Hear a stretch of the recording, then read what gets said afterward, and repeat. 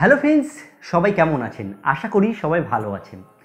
তো আজকের ভিডিওতে আমি আপনাদের সাথে আলোচনা করব, এই যে আমরা একে অপরের সাথে ফোনে কথা বলি, তো সেই যে কথা আর কি, আমি ফোন করলে যে অপরজন যে শুনতে পাচ্ছে, সেটা কীভাবে কাজ করে, এই যে নেটওয়ার্ক সিস্টেমটা রয়েছে, এই যে ফোনে কথা বলার যে সিস্টেমটা রয়েছে, এটা কীভাবে কাজ করে, বিস্তারিত এই ভিডিও থেকে আপনারা জানতে পারবেন। তো এটা জানার জন্য কয়েক মিনিটের ভিডিওটা হবে আপনারা কয়েক মিনিট কষ্ট করে ভিডিওটা দেখুন। আশা করি এই ভিডিও থেকে অনেক কিছু আপনারা জানতে পারবেন। তো আসুন বেশি দেরি না করে আজকের ভিডিওটি শুরু করি। তো বন্ধুরা, প্রথমে একটা জিনিস আপনাদেরকে বোঝাই। এই যে আমরা ফোনে কথা বলি, পুরো ব্যাপারটাই কিন্তু একটা টাওয়ারের মাধ্যমে হয়। আপনারা অনেকেই জানেন যে আমাদের পার্শ্ববর্তী যেসব টাওয়ার থাকে, সেই টাওয়ারের মাধ্যমে আমাদের কথা হয়। কিন্তু এর মধ্যে অনেকগুলো বৈশিষ্ট্য রয়েছে, যেগুলো আমাদের আর কি জানার দরকার আছে। যেটা জানলে আপনারা বুঝতে পারবেন মেন আর কি পাঙ্গাটা কী আছে। এই যে টাওয়ারগুলো রয়েছে, এগুলো তো আর ডাইরেক্ট কথা নিয়ে তার কাছে পৌঁছে দেয় না। মানে মেন ব্যাপার হচ্ছে আমাদের যে ফোন রয়েছে, আমাদের ফোনের মধ্যে একটা মাইক্রোফোন থাকে। আপনারা নিশ্চয়ই জানেন, আমরা যখন কাউকে ফোন করি, তখন যে আমাদের কথাটা প্রথমে মাইক্রোফোনটা নেয়, ঠিক আছে? মাইক্রোফোনটা নেওয়ার পরে ওটাকে একটা ডিজিটাল ওয়ার্ডের মধ্যে ওরা তৈরি করে দেয়। জিরো জিরো ওয়ান এরকম একটা ওয়ার্ড তৈরি করে দেয়, ঠিক আছে? এবার সেই মাইক্রোফোন থেকে সেটা অ্যান্টেনাতে পৌঁছায়। প্রত্যেকটা ফোনেই কিন্তু অ্যান্টেনা থাকে। আগেকার যেসব ফোনগুলো ছিল সেগুলোতে তো অ্যান্টেনা বের করে থাকতো, কিন্তু এখন যেসব ফোন হয়ে গেছে, ডিজিটাল ফোন হয়ে গেছে, এখন অ্যান্টেনা ফোনের ভেতরেই থাকে। সেই অ্যান্টেনার মধ্যে কথাটা আমাদের ডিজিটালভাবে পৌঁছে গেল। সেই ডিজিটাল কথাটা ইলেকট্রনিক ম্যাগনেট শব্দ তরঙ্গের মাধ্যমে এখান থেকে বেরিয়ে গেল। বেরিয়ে সেই শব্দ তরঙ্গটা ডাইরেক্ট টাওয়ারে চলে যায়। আমাদের পার্শ্ববর্তী যেসব টাওয়ার রয়েছে, সেই টাওয়ারে চলে যায়। এবার সেই টাওয়ার থেকে তো নিশ্চয়ই তার কাছে পৌঁছচ্ছে না, যাকে আমি ফোন করছি, তাই না? সেই টাওয়ার থেকে ওটা এম এমএসসিতে পৌঁছে যায়। এমএসসি বলতে মোবাইল সার্ভিস সেন্টার বা সুইচিং সেন্টার বলে, যে যেটাকে আর কি বলে।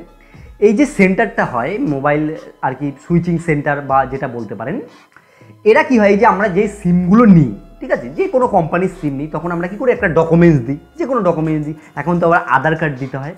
এই যে আধার কার্ড দিয়ে আমরা যে রেজিস্টার করছি, সেই যে ডকুমেন্টসগুলো আমার যে ডিটেলসগুলো সেগুলো এমএসসির কাছেই থাকে।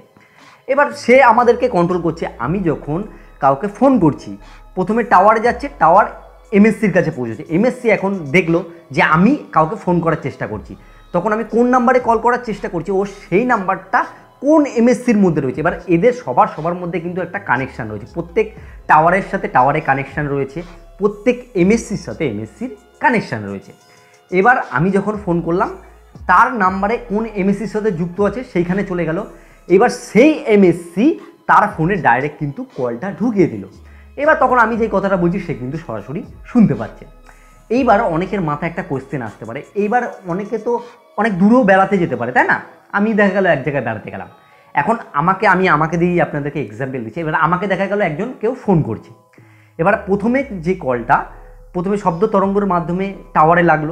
টাওয়ার থেকে এমএসসিতে গেল। এমএসসি মানে আমার যে লোকাল এমএসসি আছে, সে চেক করল যে আমি কোন এমএসসির মধ্যে আছি বা কোন টাওয়ারের মধ্যে আছি। এবার ওই যে এমএসসি রয়েছে, ওরা সব জায়গার এমএসসির সাথে কিন্তু কানেক্ট রয়েছে। এবার সে দেখল আমি এখন এই জায়গাতে রয়েছি। সে সঙ্গে সঙ্গে ওই জায়গার এমএসসির সাথে কানেক্ট হয়ে আমার ফোনে কিন্তু কলটা পৌঁছে দিল। তখন আমি কিন্তু কথা বলতে পার- পারলাম।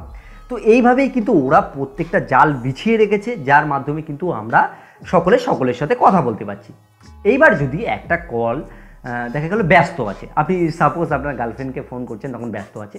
তো তখন প্রথমে আপনার যে কল করলেন, সেই কল মানে দেখবেন প্রথমে দু, তিনবার রিং হয় না? একটু টাইম লাগে। দূরে কল করলে একটু টাইম লাগে। বা কাছাকাছি কল করলে একটু তাড়াতাড়ি চলে যায়। লোকাল যদি এমএসসির মধ্যে হয় তাহলে তাড়াতাড়ি চলে যায়। বা দূরে কল করলে একটুখানি লেট হয়। ওই যে দু, তিন সেকেন্ডের মধ্যে প্রথম এমএসসিতে যায়।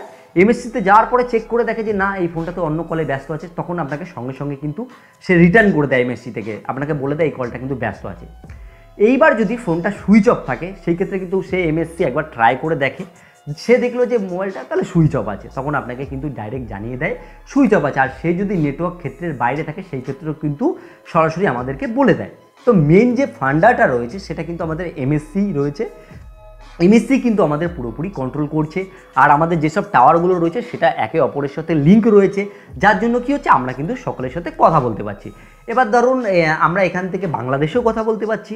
তাছাড়াও বিভিন্ন কান্ট্রিতেও কথা বলতে পারছি। এগুলো কিন্তু টাওয়ারের মাধ্যমে।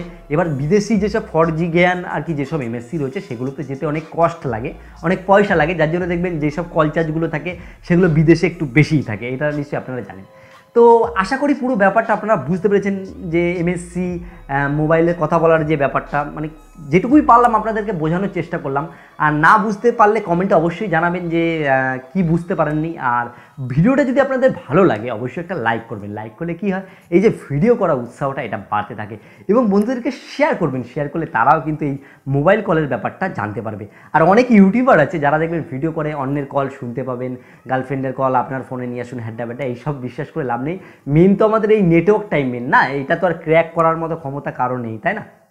তো আশা করি পুরো ব্যাপারটা আপনারা বুঝতে পেরেছেন। চ্যানেলে যদি নতুন এসে থাকলেন, এরকম নলেজেবল জিনিস শিখতে চান, তাহলে অবশ্যই চ্যানেলটিকে সাবস্ক্রাইব করে রাখুন। তো যাই হোক বন্ধুরা, আপনারা সুস্থ থাকুন, আপনারা ভালো থাকুন। অল বাংলা টিভি চ্যানেলের সাথে সদা সর্বদা জুড়ে থাকুন।